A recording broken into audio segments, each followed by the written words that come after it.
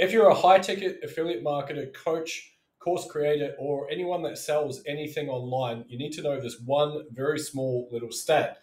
And that stat is that there's only around about 3% of the marketplace that are willing, ready, and able to make a purchasing decision in the immediate future. But then that begs the question well, what about the other 97%? What do we do with those? And so today's video is all about how you can nurture around about 30% of your marketplace to make sure that instead of just focusing on the people that are ready, willing, and able to buy now, you can nurture those leads for longevity in your business and make sure that you're maximizing lifetime customer value through the relationships that you build. What this ensures us is that we don't need huge audiences in order to make a substantial income online. We just need to know how to build that relationship with our audience in order to extract the most value and build that connection with them as well. Before I get into that though, welcome to the channel. My name is Jamie Gardiner, and since 2011, I've been an affiliate marketer, digital ad strategist, and high ticket coach. And what I teach on this channel is really just me documenting the last 12 plus years of being online, hopefully teaching you guys a few things about sales and marketing and offer creation, cutting through all the noise that's out there and really just getting to the crux of what is going to drive your business forward. Anyway, with all that being said, feel free to hit the subscribe button if that's of interest and drop any comments along the way. Always love your feedback in order to help me improve this channel. All right, so this little diagram here is uh, from Chet Holmes's book. It's called The Ultimate Sales Machine. And what he talks about is that there is only around about 3% of the marketplace that are ready, willing, and able to make a purchasing decision in the immediate future. Now, the problem with this approach and why sometimes certain industries seem really, really uh, competitive is because everyone is targeting that same 3%.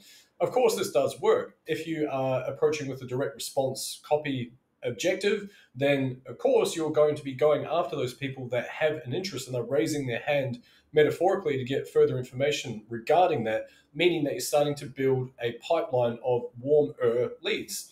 However, one thing to bear in mind is that what about the people that are in the six to seven percent range, that are in the sorry three to ten percent range, so the extra seven percent. What do you do with those folks? And what about the folks that are in the thirty percent that are not really thinking about it at this moment? And then the other thirty percent that don't ever think that they're interested at all. And what about the people that know that they're not interested? Well, of course, we're not going to be able to sell to the people that know they're not interested, and there's no point in doing so. However, what we can do by understanding some of these things is that our TAM, our TAM, our total total addressable marketplace is actually quite large if we take into consideration the volume of people that may be willing at some stage to make a purchasing decision. Now, that's not to say that we are going to need to sell to all those folks either. We not might, not have the perfect solution for all of them for starters. And realistically, what we're looking to do is just train uh, over time, the 30% that we believe we can get in front of, that we might have the appropriate resource for them when they are ready, willing, and able to make that decision themselves. Now, the reason I wanted to put this video together and the reason I wanted to put it together now is uh, I just had a high ticket deal come through uh, just in the last couple of hours. Now, the crazy thing about this is I connected with this person around about 18 months ago, give or take.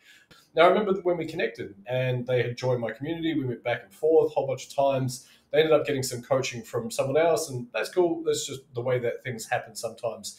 Now, the crazy thing was they have obviously been absorbing my content for a little while, and this is how a lot of my sales come to be because I am playing the long game. And so what happens is, of course, this particular person at the time was probably in the, the latter 30% that they don't think that they're interested at all to the point where when I had a conversation with them, they didn't even know my ultimate marketing mastermind program existed or really what it contained and how it could help them out. So we went through this process to dissect exactly what they wanted in their business, how I was able to help them, how I was able to help people that were in similar situations. And in a very relaxed fashion, we're able to strike a deal that works for both sides, which is awesome.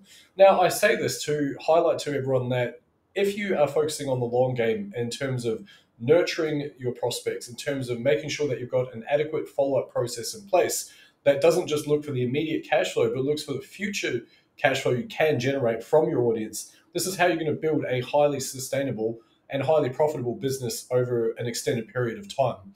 like I say, problem is so many folks are only targeting that 3%, which means they get really frustrated when everything seems really confused and saturated because it seems like everyone is going after the same small group of prospects that have metaphorically risen their hands, said, Hey, I'd like to get some info. I'm a, I'm a ready, willing, and able buyer. Um, so that is the problem. Now, how do you go about this? Well, it's actually really simple. What I teach and what I suggest you do as well, if you are relatively new to the whole online marketing game, and uh, just to paint a little bit of context, what I teach inside my Ultimate Marketing Mastermind program is how to take a very small audience and nurture it in rapid succession. Okay, so there's a couple of things that we do that is going to help you, and one of the things I would suggest is think about ways that you can elevate your own authority to your target market inside your own community. And you can do that really simply. You can have things like lead magnets that aim to give a ton of value up front, solve a potential problem that that person might be experiencing. You can also have things like uh, a guide section or a welcome video that is designed to elevate your authority show in advance that you've been able to solve similar problems for similar people historically.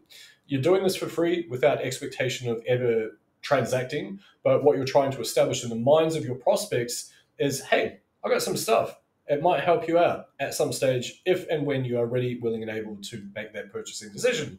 I might have it. Not saying I do, I might, right? Now, the reason why that is really powerful is because right off the bat, you are establishing that you have some level of clout, some level of authority in front of your ideal target market.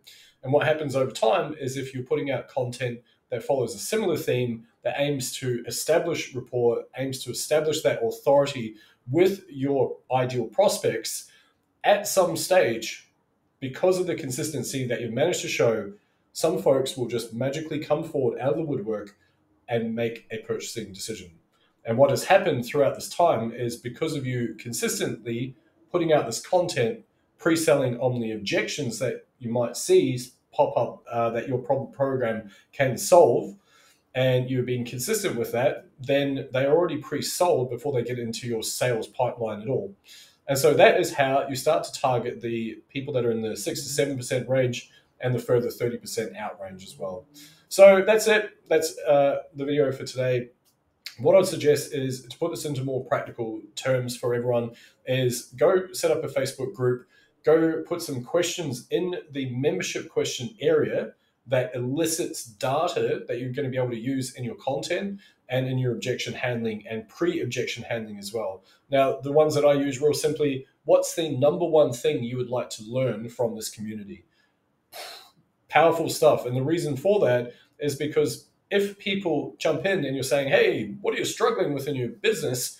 They're not going to tell you because they don't know you yet. They think, well, hell, why would I expose myself like that? I don't want to. I don't want to be sold anything right now. But if they want to learn something, it has a fun spin on it. It's more likely that they will reveal to you, oh, actually, I'd love to learn more about lead generation techniques. Cool. So therefore, if you go and communicate with these people and you have something that helps solve that problem, guess what? You've risen your authority up and thus we start the cycle. Pretty cool stuff, right? So that's it. Um, put those questions in, have something that elevates your authority, get the proper help you need in order to grow, a la the Ultimate Marketing Mastermind. Hit the link below is a free case study there if you'd like to check that out and see what we're up to inside Ultimate Marketing Mastermind and how being able to help hundreds of students that have similar problems to yourself in terms of branding, coaching, high ticket affiliate marketing, all that type of stuff as well. So, with all that being said, my name is Jamie Gardiner. I want to say a massive thanks for joining me here today.